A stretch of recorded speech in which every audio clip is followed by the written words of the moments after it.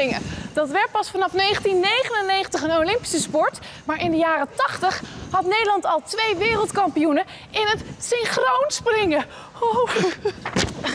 Kijk, we vonden deze foto van de gymnastiekvereniging Sparta uit Ermelo, die trouwens dit jaar 100 jaar bestaat.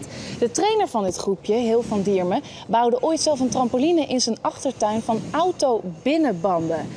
En dit is Monique. Zij is na trampolinespringen op een andere manier gaan springen, namelijk vanuit het vliegtuig. Ze heeft meer dan duizend sprongen gemaakt. Bijzonder hè? En dit zijn mijn twee hoofdgasten, Mario van Diermen en Jacqueline de Ruiter. Inderdaad, twee gasten, want zij werden in 1982 wereldkampioen in Amerika met synchroon trampolinespringen. En vandaag breng ik dit bijzondere clubje weer bij elkaar. Ik zag heel van Dierenme, de vader van Mario, weer terug. En eh, we hebben zo verschrikkelijk veel meegemaakt. Eh, we kunnen jaren praten. Echt gigantisch leuk. Echt gigantisch leuk. Het hele, het hele trampoline gebeuren, dat was eigenlijk gewoon je, je hele wereld. Je had ook helemaal geen behoefte aan, eh, aan, mensen van school of uh, discotheek of zo. Dat, uh, wij hadden het altijd met z'n allen gezellig. Dus. Ja, Mario was echt het moedertje. En, en Jacqueline was de pittige tante. En ja, die combinatie was gewoon leuk. Dus als meisje van, van, van uh, zo'n vier, vijf jaar jonger dan dat zij uh, zijn, was het echt wel uh, van, oh, nou ja, echte dametjes waren het, hè? We haalden de gekste dingen uit en dan had ik weer eens een bril in elkaar gezet. En dan zeiden de meisjes, waar kom je nou mee binnen? Ik zei, ja, dat is een hele speciale bril. Wat is dat voor bril? Ik zei, dan kun je mee door kleren kijken. Dus hup, weg waren ze allemaal weer. Altijd, er was altijd wel wat te dolle met die meiden. Wij, wij, wij wilden ook allemaal zo zijn. En Zij waren gewoon geweldig, ja. Het talent had Jacqueline, maar het harde werken was Mario. We zijn uh, bij Caluna, dames, waar straks uh, de reunie is en waar jullie een groot gedeelte van jullie uh, sportcarrière hebben doorgebracht. Heel wat trainingen en waar deze prachtige foto is gemaakt. Het is mooi, hè? Geweldig! Hoe kom je daar aan? Nog nooit gezien. Nee? Nog nooit gezien? Nee, nog nooit gezien. Ja, we Ja, hebben... misschien een keer in een krant of zo, maar ik kan me niet meer herinneren. We hebben natuurlijk zo onze uh, contacten. maar uh, wat komt er naar boven als jullie naar deze foto kijken? Oh, lekker jong. Hele oude herinneringen, ja. Geen rimpels en maren. Typisch vrouwen, hè? Die kijken weer naar het uiterlijk. Wat voor een clubje was dit? Oh, Sparta nou, en, Ermelo. ja, een hele, ja, Sparta Ermelo, een hele leuke club. Ja. En uh, ja, heel kneuterig ook, hè? Want we, we kennen elkaar allemaal heel goed. We komen allemaal uit het dorp. Ja. Leuk. Ermeloers. Ja. ja, leuk. En fanatiek? Leuk. Hartstikke fanatiek. Ja, ja, ja maar dat, dat, dat, onze, onze trainer was toen uiteindelijk zo fanatiek, dat kon niet missen. Ja. Dat weet je vanzelf wel dan. Ja. Maar wel heel erg leuk. We hebben een hele leuke tijd eraan gehad Ja? hoor. Ja, absoluut. Leuke herinnering. Leuk om ze straks ook weer te zien allemaal. Nou, dat Allemaal. lijkt me helemaal geweldig. We hopen dat ze allemaal komen natuurlijk. Oh, wat Daar kan ik nog niks over verklappen. Oh, wat leuk. Ja, dat is leuk. Super. Ja? Ik ben heel benieuwd. Zullen we naar binnen? Heel gezellig. Ja, het is koud.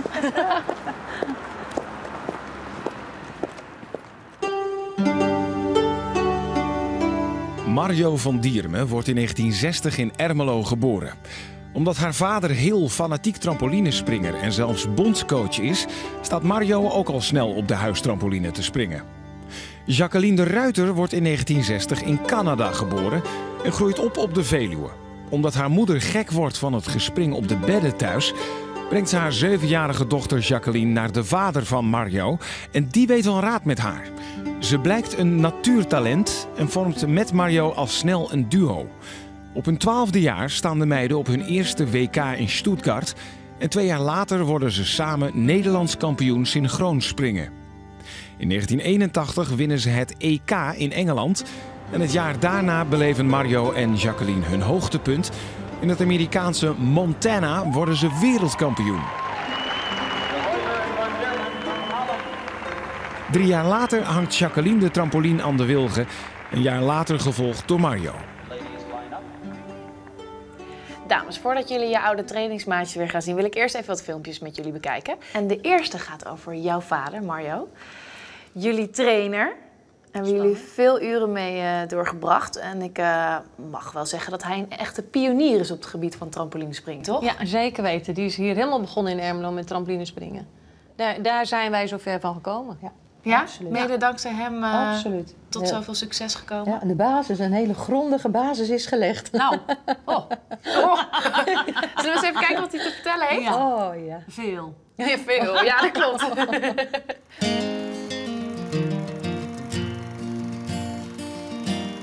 Hil van Dierme is inmiddels 78 jaar. De meervoudig Nederlands kampioen begon zijn carrière bij de plaatselijke gymnastiekclub in Bunschoten, waar de passie voor het trampolinespringen zo groot werd dat hij zelf een trampoline in de achtertuin bouwde. Ja, dit is hij nou. Ja, dit is hij. Ja. Op een gegeven moment eh, kon je die trampolines eh, kopen en kreeg een adres in, eh, Zwitserland, weet je wel. Maar hij moest over de grens en je mag niet smokkelen. Maar ik denk, ja jongens, dat moet ik toch zien te versieren, want je moet zoveel geld betalen als je dat eh, in wil voeren. En ik vergeet het nooit meer, want er waren meer auto's en die douanier die kwam er zo'n beetje aanlopen. En die zegt van, meneer, wat hebt u daar? Grote aanhanger met een groot zeil erover. Ik zeg, meneer, een trampoline moet je het ook eens proberen. Zegt, oh, rijden met die ding, zegt hij, doe ik van, vanavond bij mijn vrouw wel. oh, dat vergeet ik nooit meer, jongen. En mijn hart ging zo te keren, maar we konden zo doorrijden. Prachtig, toen had ik een mooie trampoline thuis. Nou ja, s winters was het vrij koud. Dus heb ik ook nog een, eh zeker ben ik bij een hooiberg wezen kijken hoe dat werkt, weet je wel. En toen een dak gemaakt van, eh, van die hele dunne plastic plaatjes, zo licht mogelijk. En dat draaide zo omhoog, weet je wel, zo tot 7, 8 meter. Zoals mijn dochter met de vriendinnen, die waren de hele dag, als ze uit school kwamen, dan gingen ze daar, het hok noemden we het. En gingen ze daar springen met poppen en alles waren ze bezig. Ja, dat was heel, dan hebben ze eigenlijk dat springen goed geleerd, weet je Elke dag waren ze bezig. Je weet, dat wordt op school verteld, weet ik wat. Maar dan komt er een mevrouw aan, de deur.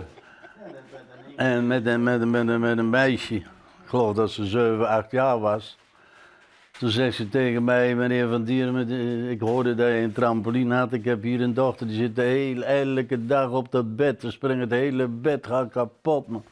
Kan ze niet hier? Ik zei, laat ze maar komen. Ja, dat werd in één keer een talent, jongen. Die, die hoefde heel niet te trainen, bij wijze van spreken. Als je wat zei, doe dat of probeer dat. Dus dan ging dat gewoon. Wat ontzettend leuk. Oh ja, dat is helemaal geweldig. En dat laatste verhaal, dat gaat dus over jou, Jacqueline. Was je zo'n stuiterbal als kind? Ik weet dat mijn moeder daar niet blij mee was, want eh, we hadden een oud huis en die lamp boven, dat hoorde ik dan, die ging heen en weer. En het bed dat stond krom en ik was alleen maar op dat bed aan het springen. Beelden zijn fantastisch, hè, van vroeger. Oh, nooit gezien ook. Maar dat is grappig, de- net, eh, met zo'n hele dag komen zoveel herinneringen. Ik sta gewoon versteld voor mezelf. Ja. Dat ook dit, dat ik denk, oh ja, dat was zo'n tijd geleden. Maar dat weet ik nog wel. Nou, dames, ik ga natuurlijk altijd met mijn gasten eh, sporten. Dus we gaan trampoline springen. maar ehm, ja, nou, ik eh, weet nog niet of ik er zin in heb. ik vind het best spannend namelijk. Wat doen we aan? Jij hebt hem meegenomen, toch? Ja, maar daar kan ik niet meer in. Kan die wel? wel zien? Kan die wel? Ja? Ik wel. Wil je in het pakje dat we Europees kampioen waren? Of wereldkampioen? Nou, eerst wereldkampioen natuurlijk, met de hoogste beginnen. Met het hoogste. Eens even kijken. Ik zou echt helemaal niet weten, het is natuurlijk een beetje voor mijn tijd, wat je dan Ja. draagt, überhaupt. Nou ja, hier zijn we. Het is heel lang geleden dit. Hou het eens voor, volgens mij past het nog zat. Nou, Dat denk ik ook hoor, Mario. Ja. dit waren, hier waren we weer. Maar er zit een, geen lekking eronder, gewoon echt alleen dit. Dat is best eh, sexy, eigenlijk. Leuk hè? Ja. Hier waren we Europees kampioen in. Oh, wat schattig. Het is een beetje verweerd. Dat je die is- nog hebt. Ja, ik bewaar alles. Dus- Waar vond je dat? Ja, en de leukste, ik ben helemaal op zolder, dus het zal hem ruiken. De- dit is mijn eerste turnpakje. Oh ja, het ruikt heel ja. leuk. Dit was mijn eerste, ja. Ik denk, ah. Ah, wat, ja, dat zijn de oudste pakjes. Hoe oud was je toen? 12, 13. Toen zijn we naar Zuid-Afrika gegaan. Het was in dit turnpakje. Het is voor mij echt 20 jaar geleden. Ja, minimaal. Ja, is Denken jullie dat je het nog kan? Nou, echt niet. Nee. Echt niet. Nee? Dat gaat hem echt niet Er worden. gaat geen saltootje komen zometeen. Nou, daar gaan we, dames. Dit of gisteren? Ja? nou, ik ben benieuwd of dat eh, daarop ook zo is. Maar dat kruis is toch gemaakt om in ieder geval alle spullen die je doet, proberen op dat kruis te krijgen. Ja. En dan heb je nog een mogelijkheid in dat vak.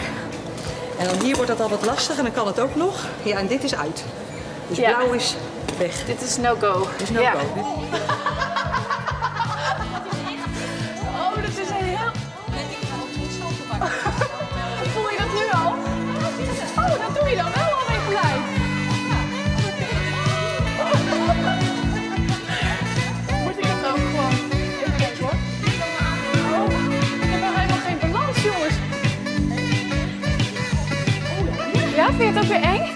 Eng.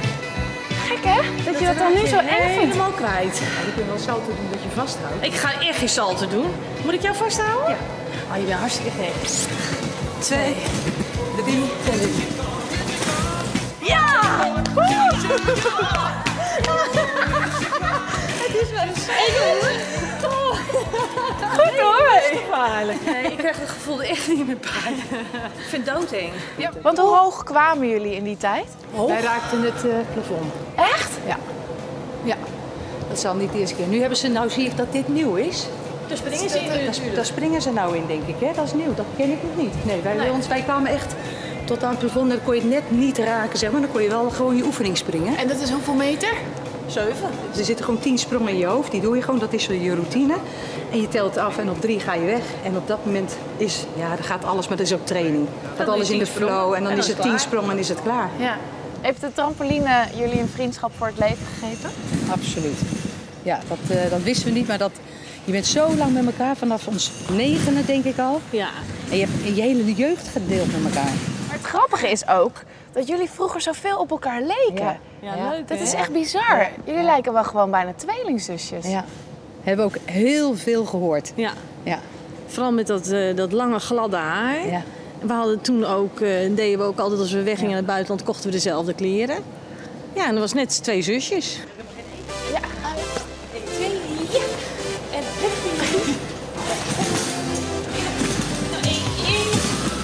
Twee. Wat wil je doen? Drie zitten samen. Dat is de enige kleur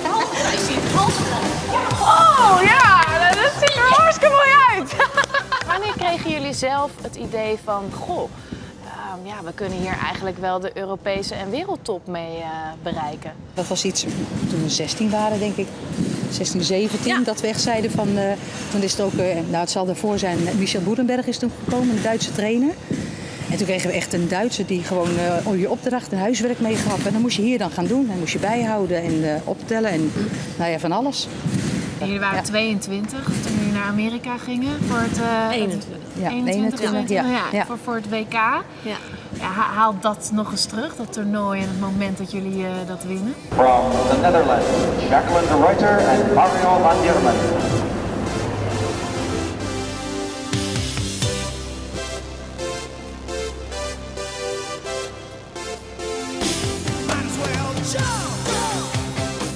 Ja, het unieke moment. En dan met z'n tweeën daar staan dat we het samen hebben gedaan. En dan dat volk ziet dat voor ons dan werd gespeeld. Dat is heel emotioneel. Ja, dat vond ik Als wel. ik het nu nog hoor. Ik heb ook mijn dan- vader ja. toen jankend opgebeld. Ja, ja. Want die heeft natuurlijk onze Ja. beginjaren heel lang meegemaakt.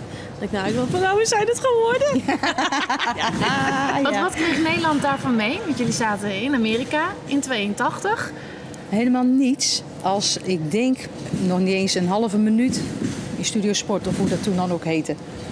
Maar het werd er een beetje lacherig over gedaan altijd. Een beetje op die springwippen, ik weet niet wat ze allemaal zeiden. Bij ons op dorp was, was het wel heel erg. eh, We hadden toen een burgemeester, die promote dat heel erg. Dus we zijn hier binnengehaald met bloemen, koetsen naar het gemeentehuis. Nou, ik heb ook nog heel veel mensen die weten dat gewoon Ja. nog van. Die zeggen ook tegen ons van, god, doen jullie dat nog? Nou, echt niet natuurlijk. Jullie werden echt BE'ers, bekende Ermeloers.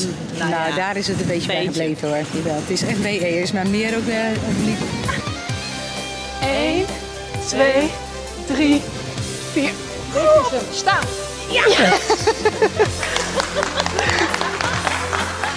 Nou, bedankt dames. Het volgende filmpje gaat over Monique. Staat ook bij, eh, op deze foto. En zij heeft een hele spannende hobby. Weten jullie wat dat is? Ja, dat weet ik. Dat is uh, Parachutespringen? Ja, parachutespringen. parachutespringen, Ze is ja. blijven springen. Ja. Toch? Maar dan Ja. uit een eh, vliegtuig. Deed haar vader dat ook niet? Ja, Ja. mijn vader deed dat ook. Ja, Ja. Zullen we gewoon eens even kijken naar haar verhaal? Ja, dat klopt. Oh, leuk. Monique Pierlo is net iets jonger dan Mario en Jacqueline en keek in die tijd erg tegen de twee toppers op. Enorm gedreven deed ze altijd haar oefeningen, totdat de angst om de hoek kwam kijken en er een abrupt einde kwam aan haar trampolinetijd. Ik had gewoon bepaalde neigingen om, om, om voorover te gaan, terwijl ik dat niet moest doen. Dat bleef zo in mijn hoofd zitten. Toch gaat Monique weer springen. Ditmaal uit een vliegtuig met een parachute. De parachutespringen komt maar één keer meer. Als je dat goed doet, nou, heb je maar één landing. Ja, als je die niet goed doet, oké, ja, hey, dan, eh, dan breek je wat.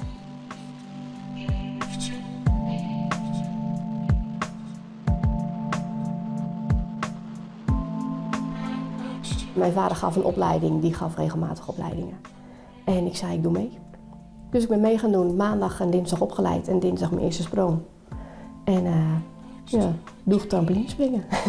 ik had met trampolinespringen had ik één oefening, die wilde ik echt zo graag springen. Maar die heb ik nooit gered op trampoline, maar wel in de lucht. Geweldig, is die gelukt.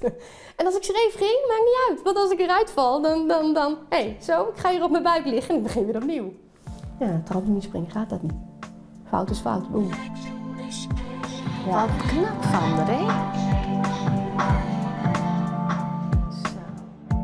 Na meer dan duizend sprongen hangt Monique noodgedwongen de parachute aan de wilgen. Parachutespringen zit toch wel wat achter, wat veiligheid achter. Ik vind dat je minimaal 25 tot 50 sprongen per jaar moet maken om veilig bezig te zijn. En dat heb ik afgelopen twee jaar niet gehaald. Ja, dus misschien dat nu toch wel de tijd gekomen is om eh, ja, mijn spullen te verkopen.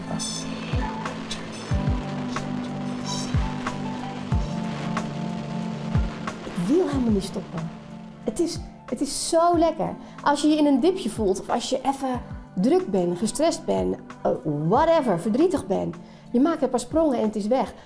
Het is zo, zo bevrijdend, zo lekker, zo, zo, zo leegmakend. En dat mis ik wel. Tot aan vanmiddag, toen hadden we het weer terug. Monique kijkt met veel plezier terug op haar tijd bij Sparta Ermelo. En herinnert zich nog goed hoe ze destijds enorm opkeek tegen haar oudere teamgenootjes. Maar gewoon, gewoon Mario en Jacqueline.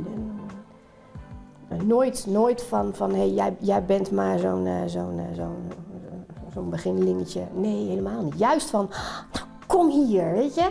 Ze gedroegen zich ook een beetje als moeder van, kom hier, dat gaan we samen proberen. En dat gaan we doen. Kom, dat lukt vanzelf wel. Nou, als je verdrietig was omdat het dan voor de zoveelste keer weer niet lukte, nou, dan kwamen ze gewoon de kleedkamer in van, kom op, we gaan het nog een keer proberen. Nou, dan deed ik nog een keer. Dus ja, geweldige voorbeelden. Ja, je weet nooit hoe een ander over je denkt. Nee, maar voelde dat voor jullie ook wel eens zo dat jullie een beetje de moeders waren van... eh, Nou, dat nou niet echt. Voelde jij je moeders, nee, moeders heb ik niet, maar de, ja, die waren jongen. Wij hadden wel op een gegeven moment de verantwoording dat we met dat kleine grut moesten de grens over. En dan, ja, je had op een gegeven moment met je 18 autootje en dan ging je naar Basel. En dat deed je. Je was er in een paar uur en dat ging ook in die tijd hard. Maar achteraf denk ik, oh, ik begrijp nu de begeleiders die ons moesten begeleiden en wij hun een beetje. Nu veel meer dan toen. Ja. Dit doen we tegenwoordig. Wauw. Kaasjes verkopen. Ik heb net een eh, hele schuur vol gekregen. Karretje klaar. Heb je zin om wat eh, in te laaien? Na de kar. Want Marja, wij gaan straks even bij Jacqueline op het eh, werk eh, kijken. Maar dit is jouw wereld, de kaaswereld. Wat doe je precies? Nou, kijk, normaal gaan we hier de kar in en, met mijn man. En dan moet natuurlijk alles opengeklapt zijn op de markt. En dan sta ik van, wat zal ik voor u doen vandaag? Een Ja. bakje kaas erbij. Gezellig kletspraatje maken. Alle klanten hebben we al 20, 30 jaar. Dus nou ja, daar weet je het hele hebben en houden van. Eh, Ja. trouwen, kinderen krijgen, ook minder leuke dingen. Over trouwen Superleuk. gesproken. eh, die trampoline heeft daarin ook nog een eh, rol gespeeld hè, Een op jouw trouwdag. rol, Ja. ja, ik moest op dat ding. Schrok me dood. En eh, toen dacht ik van, nou ja, we gaan ervoor. Dus Chris heeft mijn schoentjes vastgehouden. Ik weet het nog eens de dag van gisteren en ik maak zo'n salto. Hoepelrok omhoog. Kniekouwtjes eronder uit. Hartstikke idee. ja, dat ging prima. Picture does not. You talk to me when you felt like it. Just the way Mis je het leven nog wel eens, wat je vroeger had van het sporten en Nee, springen? absoluut niet. Nee. Dat was leuk als ik jong, eh, toen ik jong was. Maar nu doe je andere dingen. Ik tennis graag. Ja, en mijn man en ik die gaan graag op vakantie. Je bent oud, de kinderen gaan bijna de deur uit. Dus ja, dan heb je weer andere leuke dingen. Ja, maar niet te oud om kazen te sjouwen. Nee, maar wel om te springen. Zullen we ze eventjes, eh, want dat moet Lijkt me natuurlijk goed, hè? jij geeft ik ze ben aan hier niet en voor ik, eh, niets. ga het in de kar.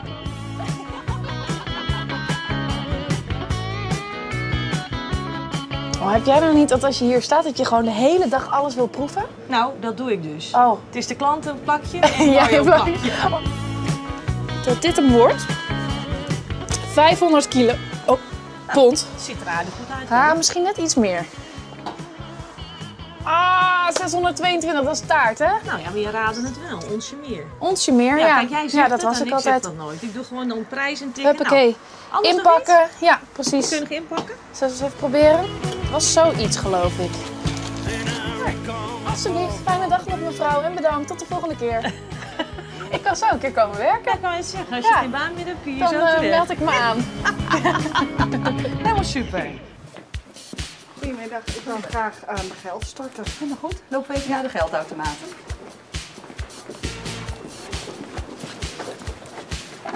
Nou, heeft u pasje bij u? Ja. Wel, dat doen we altijd weer, hè? Nou, Dan draaien we ons even om. Hadden ze uw pincode mag u intoetsen? nou, op centjes gespaard. Ja. Fanatiek was je altijd in, in eh, het trampolinespringen en de topsport. Ben je ook een beetje een carrièrevrouw? Ik was het wel, maar ik ben het niet meer. Nee? Nee, nee. op een gegeven moment als je de 50 passeert, dan is dat wat minder geworden.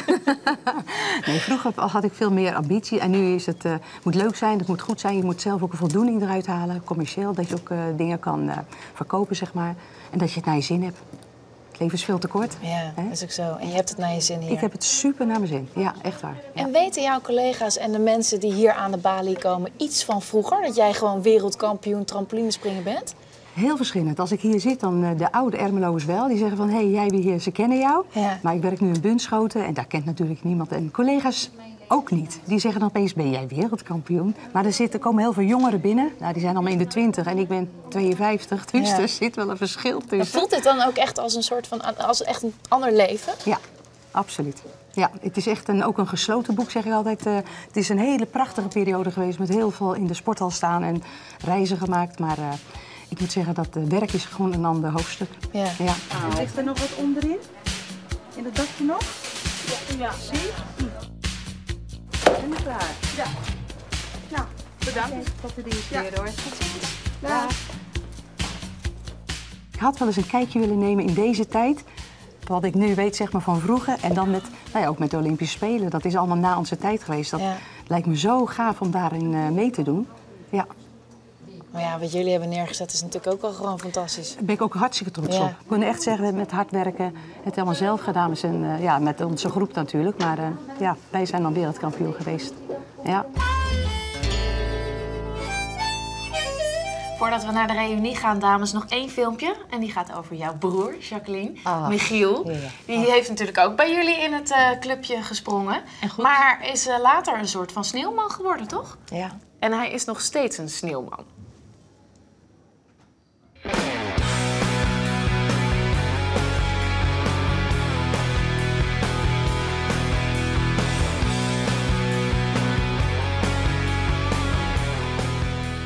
Michiel de Ruiter, het jongere broertje van Jacqueline, is als kind bezeten van trampolinespringen.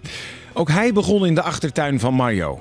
Vier keer wordt hij Nederlands kampioen, maar het vele springen begint zijn tol te eisen. Hij keert de trampoline de rug toe en vindt een nieuwe passie in het freestyle skiën. Op een gegeven moment, als je het zoveel jaren doet, dan op een gegeven moment heb je zoiets van ja, je je wil wat anders, je wil wat nieuws. Plus het feit dat ik toen die tijd ook een beetje last kreeg eh, van eh, waar meerdere springers last van hebben, eh, is dat je sprongen door elkaar heen haalt. Dus ik sprong en ik moest een salto voorover doen met een halve draai en ik maakte een salto voorover met anderhalve draai. Dus dat was voor mij ook het hele makkelijke en het juiste moment om te zeggen van ik stop en ik ga me heel doelgericht eens eh, kijken van wat er nog meer eh, aan sport in de wereld is. Toen ben ik eigenlijk, eh, toen ik een jaar of 19 was, ben ik begonnen met het freestyle skiën. En ja, daar kwam de basis trampolinespringen kwam naar voren toe. Ik kon al een beetje skiën. Want ik was bevoorrecht. Ik mocht met mijn ouders één keer per jaar gingen we een weekje skiën. Dus dat had ik ook een beetje onder de knie. En als je die twee dingen nou eens weer heel goed met elkaar combineert, dan kon je saldo's maken met skis. Ja, dat, ben ik, dat vond ik wel heel gaaf. En dat heb ik dus eh, tot en met uh, ja, laten we zeggen 2005, 2006 heb ik dat eh, vrij intensief gedaan. Michiel haalt twee keer de Olympische Winterspelen en vertoont jarenlang zijn kunsten op het allerhoogste niveau. Oké, okay, bad for starter.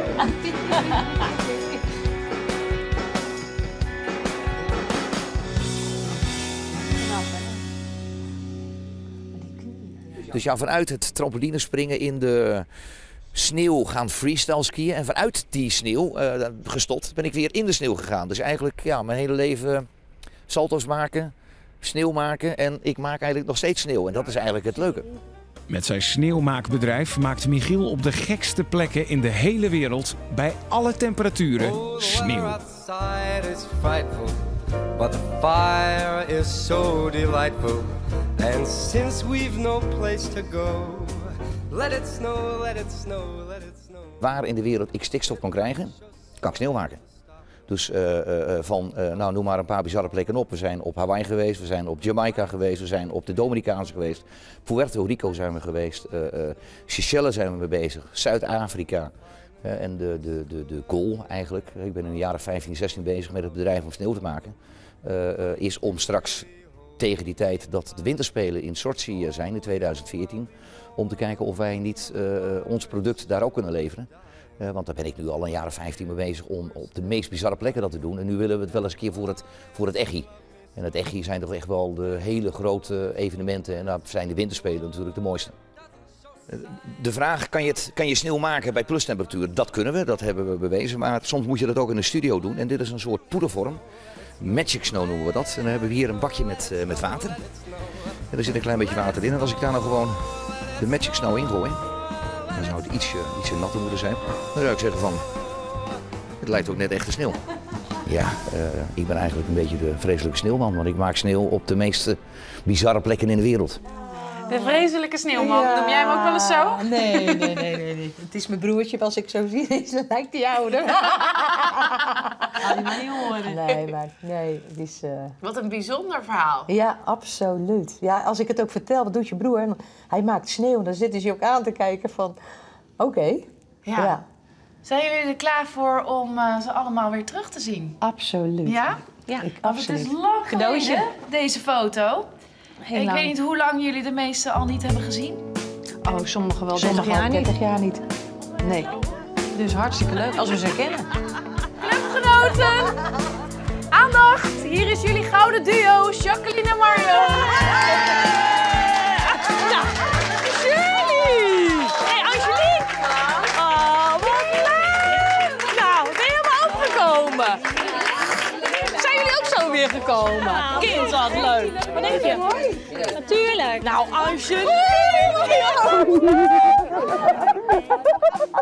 Dat systeem verandert, hè? Jeetje. Ja, jij ook? Oh. Jeetje. Hartstikke leuk. Kind, wat kon jij goed springen, hé? Ja. Oh. Ja, geweldig. Jij deed nog meer als op de trampoline. Ja, dat durf niet. Dat komt niet ja, van me. Zweer het je. Connie wil even in beeld.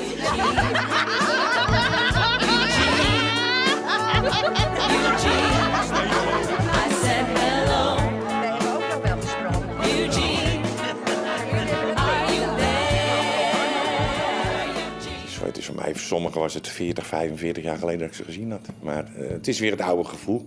Het oude Sparta-gevoel. Doet je wel wat, toch, vind ik. Ja. Het is raar dat je meteen ook weer zoveel jaar jonger bent dan. Dat is wel gek, is dat. Ja. Ja, en alle oude verhalen komen dan weer boven. Want het is toch lang geleden, maar dan komen toch al die verhalen weer terug.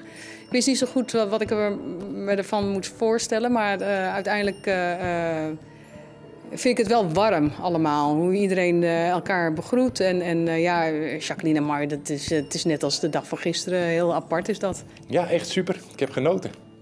Ik heb echt genoten. Ja. En meteen weer een afspraak gemaakt voor de volgende reunie. Hoe vinden jullie het om iedereen weer te zien? Superleuk. Ja? Helemaal leuk. En niemand is ook veranderd. Iedereen lijkt nog net 14. Ja, maar je kent iedereen nog. Het is echt, Ja? Mijn vader heb ik nog wel uh, gezien, maar ook een paar dat ik denk, jeetje, Mina, geweldig. Dat was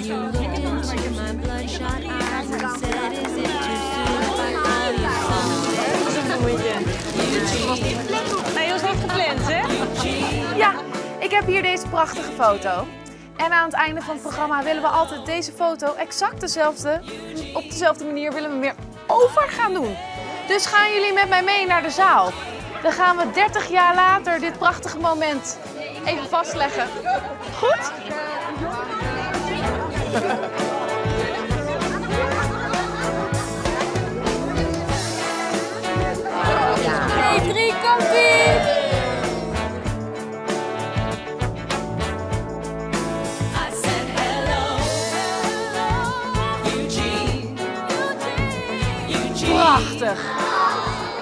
Tot zover eh, de reunie van eh, Mario en eh, Jacqueline. Wat hebben we een geweldige dag gehad.